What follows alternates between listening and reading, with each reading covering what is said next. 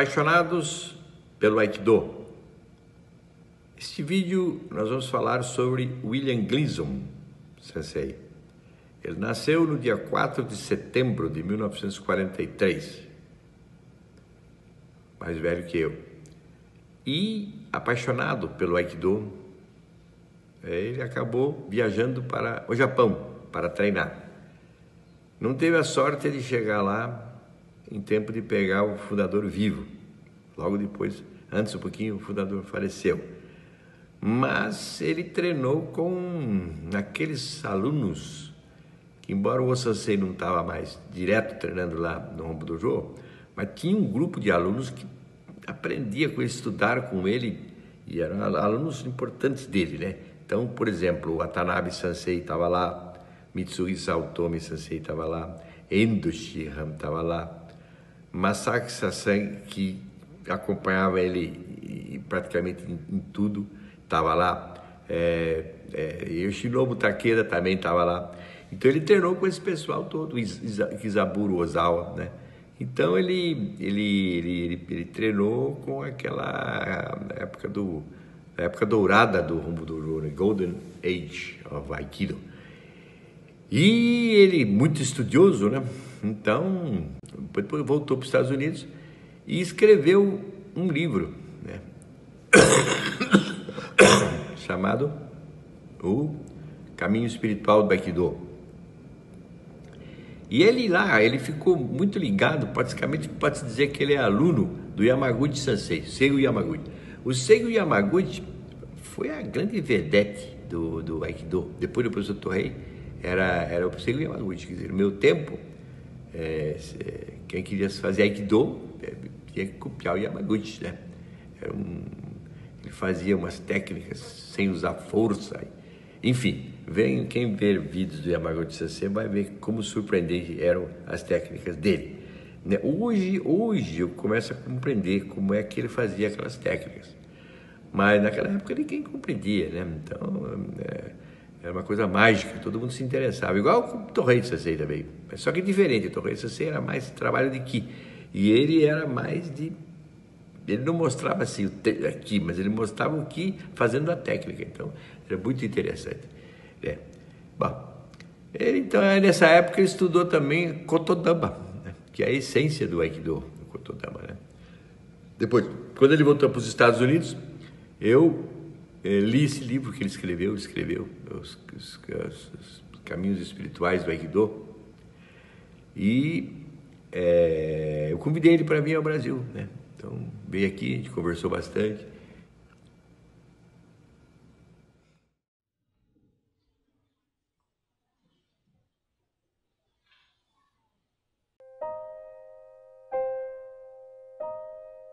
Past 10 years, Gleason Sensei has performed demonstrations throughout New England. This demonstration took place in Cambridge, Massachusetts in 1991. In the fall of 1991, Gleason Sensei demonstrated for the August Moon Festival in Boston's Chinatown and was presented with an honorary award for service to the community.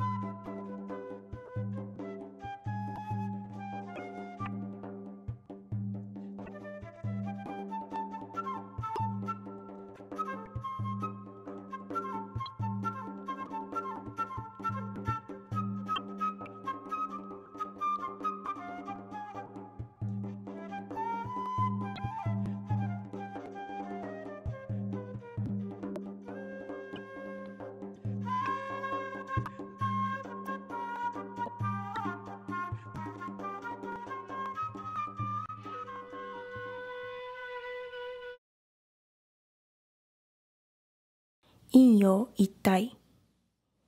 Yin and Yang as one. This sword principle which originates in Shinto, was understood as the eight powers, four sets of complementary yet antagonistic relationships. It was interpreted in various kobudo, or ancient martial arts, each according to their own style. It is essential to the practice of Aikido. Kyojutsu Ittai Emptiness and form as one. The basic Mugamae sword stance exemplifies emptiness and form as one. Originally, there were no stances in barehanded training at all. This is shown in the Shizentai, or natural stance of Aikido. Dose Ittai, motion and stillness as one. Motion and stillness as one is seen in the art of ukemi. Flying through the air, seemingly out of control, yet center is never lost. This requires remaining firmly centered, even when actual balance is impossible. Shoshu Ittai Beginning and end as one. In Aikido training, beginning and end as one becomes Zanshin or unbroken concentration. This is demonstrated here in Suwariwaza Ikkyo, one of the most basic practices of Aikido.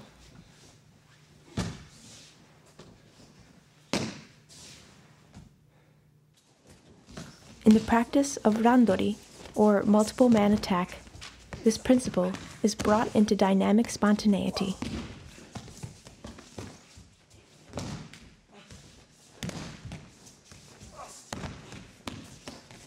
With the three main techniques of Aikido Ikkyo, Iriminage, and Shihonage.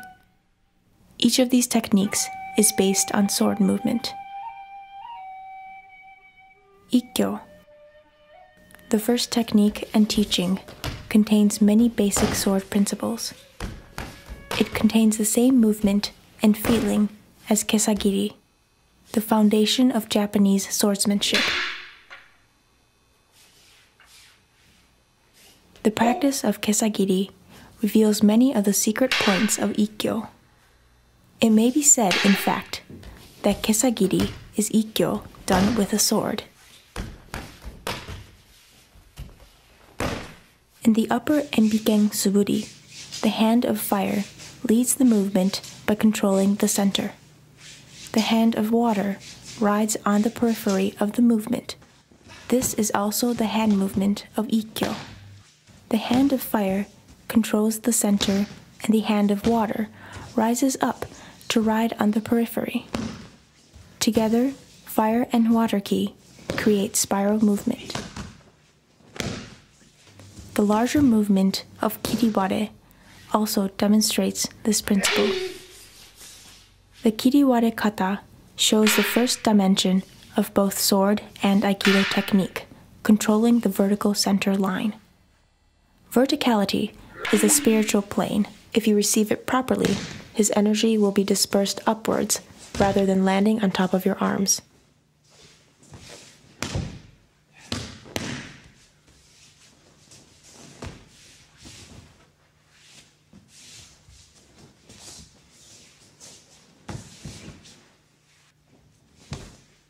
Once again, just as in Kesagiri, your weight should always be under your center of balance. It should rest on your rear leg, allowing the entire power of your body to be used in the cut or throw.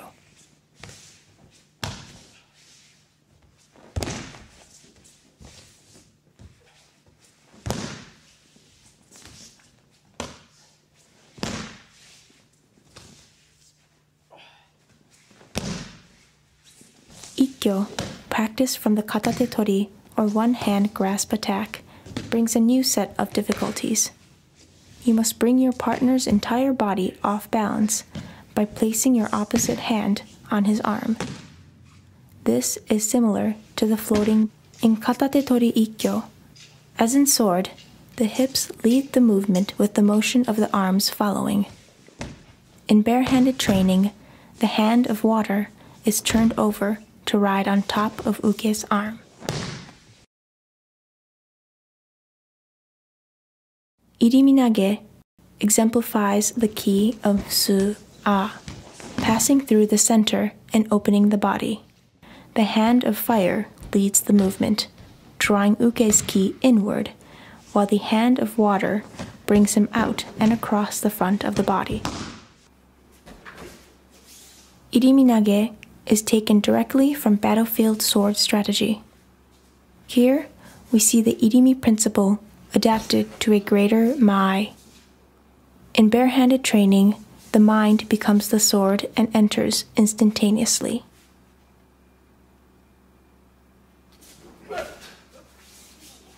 The principle of Irimi is sometimes called Sankaku Ho, which means the triangle method.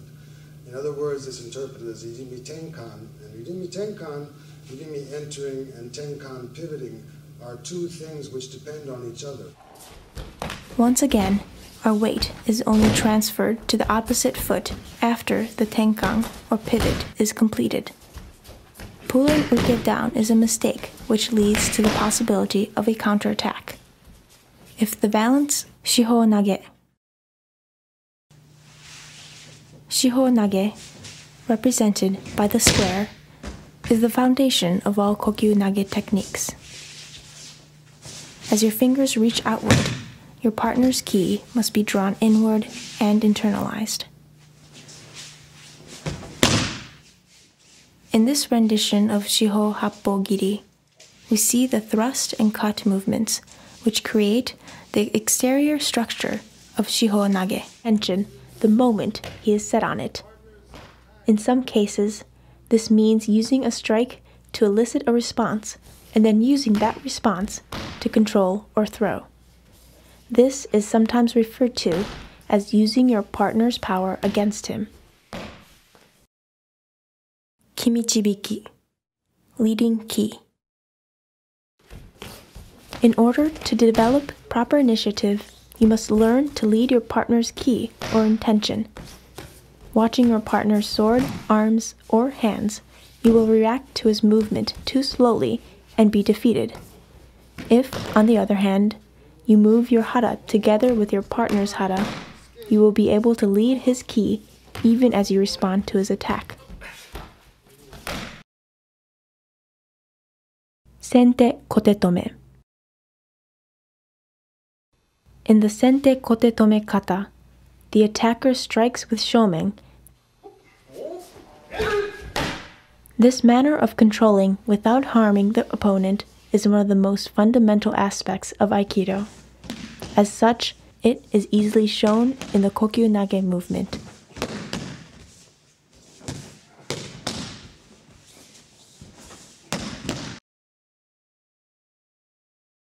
Kesa Tachitsuke will be easily defeated. This manner of using irimi is seen in barehanded training in responding to a low punch with an elbow strike.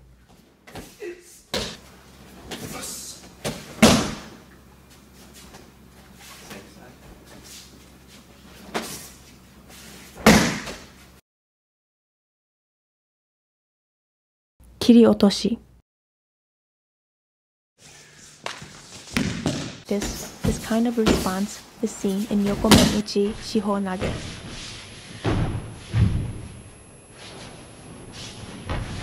Making a decisive move on the third attack is a common strategy in all barehanded styles.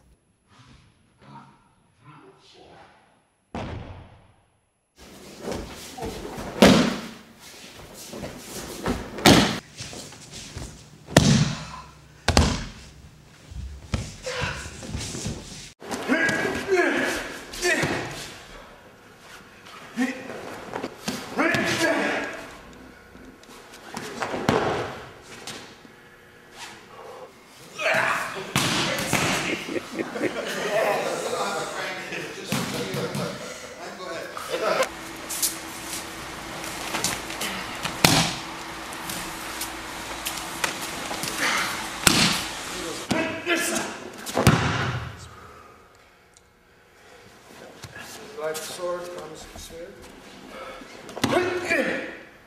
And cuts.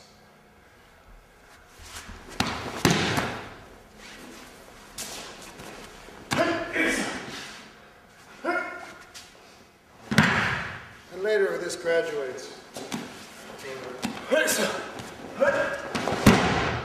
In that theater with the... Well, sometime.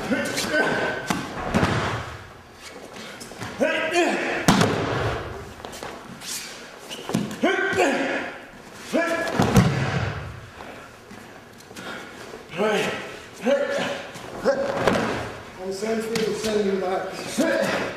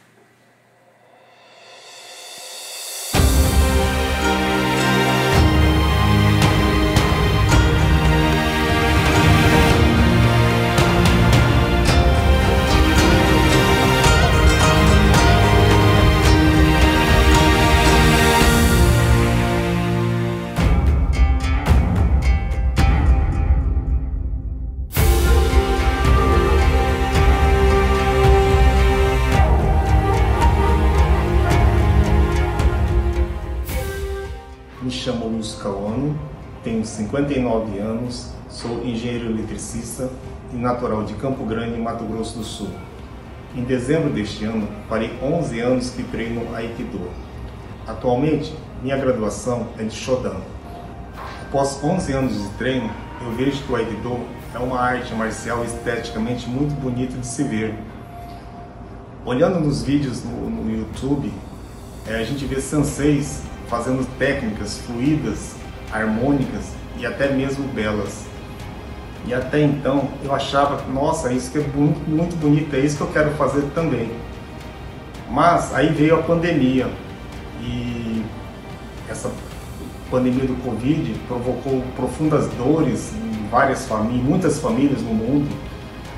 E para mim, em relação ao Aikido, foi uma oportunidade muito bonita, pois eu pude me aproximar mais do Sensei Wagner Bu é, e para entender o que significava aquilo que ele falava nas suas lives. Para mim era muito difícil ouvir, presenciar as lives e não entender o significado das palavras do Sensei Wagner. É, então resolvi me arriscar e ir ao instituto, me aproximar do Sensei Wagner para ver o que, que é esse novo, entre aspas, novo Aikido, né? Que ele chama de Takemuso Aiki, que seria o último estágio do O Sensei. E isso foi uma coisa para mim muito interessante, pois eu percebi que esse o Aikido, ou essa forma de trabalhar o Aikido, feita pelo Sensei Wagner, tinha uma coisa muito diferente, distinta do que eu até então havia visto em vídeos. Poucos mestres eu via isso que o Sensei fazia, estava fazendo agora, né? Que é o que eles chamam de non-touch.